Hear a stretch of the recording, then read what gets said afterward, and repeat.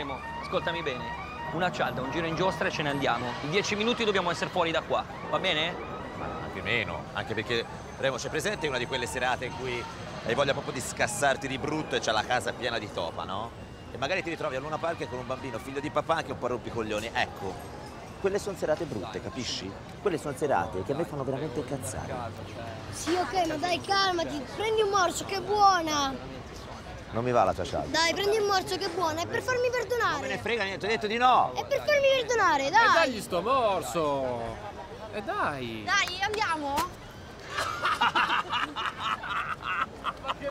Ah, vabbè, siamo tutti a ridere!